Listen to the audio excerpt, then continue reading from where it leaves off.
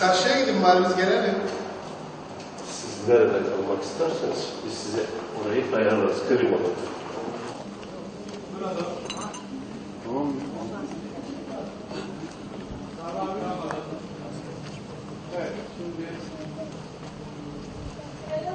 Ee, çok keyifli, çok farklı bir iş olduğunu düşünüyorum. Ee, hani televizyon, Türk televizyonlarının formatında daha önce böyle bir iş yapılmadı sanıyorum. Türk televizyon seyircisinin alışık olmadığı bir iş olacak.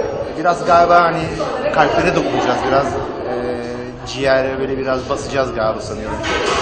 Benim için şöyle bir güzelliği var. Ben ilk defa kötü karakter oynayacağım. Onun için birazcık heyecanlıyım. Bu sakal makalda falan birazcık da onun için.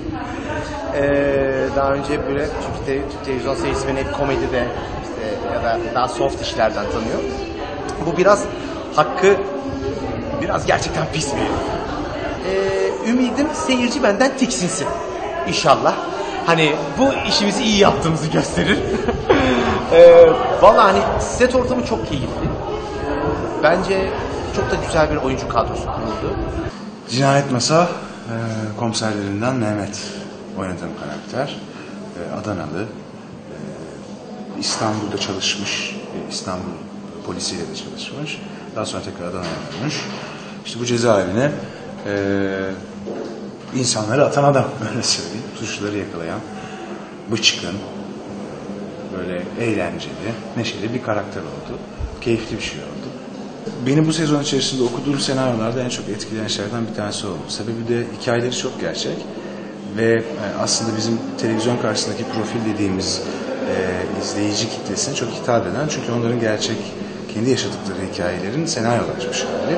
E, dramatik aksiyon çok kuvvetli, çatışması çok kuvvetli. Dolayısıyla hiç tempo düşmüyor. E, hep bir şeyleri takip ediyorsunuz. Hep du- durmadan yeni olaylar açılıyor. E, bence çok keyifli. Oyuncu kadrosu çok iyi. Ee, Gülay ailesini hiç tanımamış. Annesi doğum esnasında e, vefat etmiştir. E, gözlerini yetiştirme yurdunda açmıştır ve yetiştirme yurdundaki şartlardan dolayı hayata e, ve insanlara hep bir çekimser yaklaşmıştır. Hep bir güvensizlik duymuştur. 12 yaşından beri tanıdığı Sertaç'la evlidir. Sertaç onun kolu kanadı, her şeyi olmuştur. Tek güvendiği insan odur.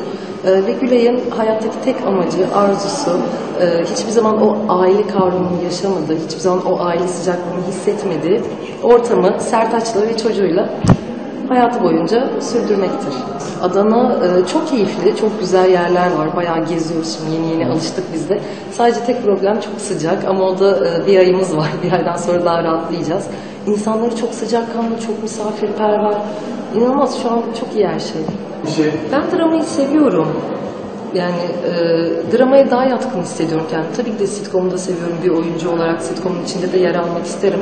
Ama kendimi dramaya daha yatkın görüyorum. O yüzden bence bir problem yok. Seviyorum ben.